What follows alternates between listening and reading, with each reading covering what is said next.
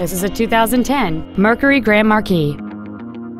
It features a 4.6-liter, eight-cylinder engine and an automatic transmission. Its top features include solar tinted glass, air conditioning with automatic climate control, cruise control, and air suspension, aluminum wheels, the SecuriLock anti-theft system, a chrome grille, a low tire pressure indicator, heated side view mirrors, and this vehicle has fewer than 31,000 miles on the odometer.